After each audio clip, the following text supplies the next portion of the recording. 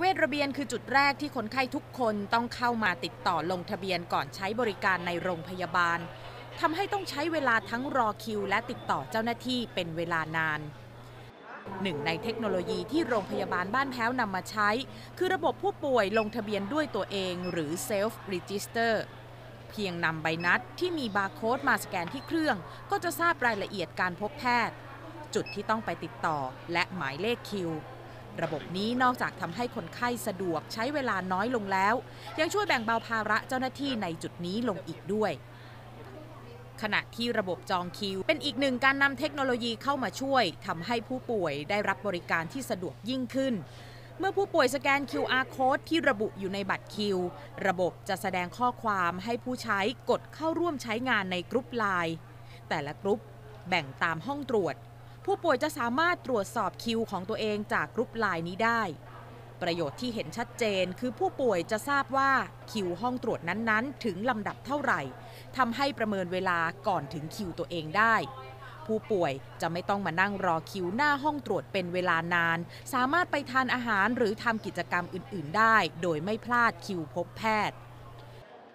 และล่าสุดคือระบบการชำระเงินด้วยตัวเองหรือ self payment เพียงนำใบสั่งยาที่มีบาร์โค้ดไปสแกนที่เครื่อง เลือกช่องทางการชำระเงินได้ ไม่ว่าจะเป็นบัตรเดบิต บัตรเครดิต หรือ QR code จากนั้นยืนยันการชำระเงิน รับใบเสร็จอย่างย่อ พร้อมกับคิวรับยาได้ทันทีที่สำคัญระบบนี้สามารถใช้ได้ครบทุกสิทธิสวัสดิการ ทั้งเงินสด ประกันสังคม สิทธิ์บัตรทอง และสิทธิสวัสดิการค่าราชการ โดยจะหักค่าใช้จ่ายที่เบิกได้จากสิทธิ์ที่มี และแจ้งส่วนต่างที่ผู้ป่วยต้องชำระหากมีชาญชัยวงศ์เมธีสุเมธใช้บริการที่นี่มาหลายครั้ง ก่อนที่จะมีระบบการจ่ายเงินด้วยตัวเอง ชาญชัยบอกว่าก่อนหน้านี้ใช้เวลาการรอจ่ายเงินนานและค่อนข้างยุ่งยาก อันนี้จะเร็วกว่าครับ เพราะว่าเมื่อก่อนจะต้องมัน จ่ายเงินคือคือต้องมานั่งรอเขาเรียกชำระเงินที่การเงินก่อน แล้วก็พอชำระเงินเสร็จเราก็จะต้องแบบอารอไปชำระเงิน แล้วก็อาจจะต้องไปทราบยอดก่อนไปกดเงิน เพราะว่าตอนแรกยังไม่ทราบยอดพอใบเสร็จออกมาทราบยอดเราไปแล้วไปกดตังค์ที่ตู้ ATM แล้วก็วิ่งกลับมา แล้วก็มารอคิว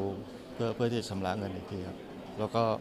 มารอมารอยายเป็นเหมือนกับว่าจะลดขั้นตอนตรงนี้ไปครับ ก็จะสะดวกขึ้นนะครับผม ผู้อำนวยการโรงพยาบาลบ้านแพ้วบอกว่าเทคโนโลยีต่างๆ ที่นำมาใช้ เพื่อยกระดับการให้บริการ เพื่ออำนวยความสะดวกแก่ผู้ใช้บริการ รวมถึงลดภาระของบุคลากรในองค์กร การจ่ายเงินก็เป็นอีกหนึ่งเทคโนโลยีที่โรงพยาบาลร่วมกับธนาคารกรุงไทย และทำให้ที่นี่กลายเป็นโรงพยาบาลแห่งแรก ที่มีระบบการชำระเงินด้วยตนเองแบบครบทุกสิทธิ์การรักษา ตอนนี้เราก็พยายามเร่งมือว่าทำไงให้ประชาชนเหล่านี้ต้องต้องไปขยับที่จะทำ e-banking นี้ขึ้นมาให้ได้นะครับแล้วก็ทำให้เขาสามารถเข้ามาได้อันนี้มันก็จะมีประชาชนบางเลเวลที่เขาไม่สามารถจะทำแบบนี้ได้ เช่น คุณตาคุณยายที่อีกยุคนึงนะฮะที่อาจจะทำให้เขาเป็นอุปสรรคบ้างนะครับ แต่อย่างน้อยการที่มีตู้นี้จะทำให้ลดลดลดต่อแถวคิวที่ไปเจอคนได้ คุณตาคุณยายที่ต้องต่อแถวคิวกันเป็นร้อยคนเนี่ยก็อาจจะลดลงเหลือแค่ 10 กว่าคนที่ต้องรอเจอคนที่ต้องจ่ายตังค์ นะครับก็ทำให้คุณตาคุณยายก็ไม่ต้องรอคอยนานมาก โรงพยาบาลบ้านแพ้วเป็นสถานพยาบาลประเภทองค์การมหาชน ภายใต้พรบองค์การมหาชน อยู่ในกำกับของรัฐ โดยกระทรวงสาธารณสุข และเป็นเพียงหนึ่งในหลายโรงพยาบาลที่ขณะนี้ พยายามพัฒนานำเทคโนโลยีมาช่วยในการบริการ เพื่อกำจัดความยุ่งยากและการรอคอย ที่ผู้ป่วยต้องมาใช้เวลานานอยู่ในโรงพยาบาลวรลักษณ์อิสรางกูลณอยุธยา ไทย PBS รายงาน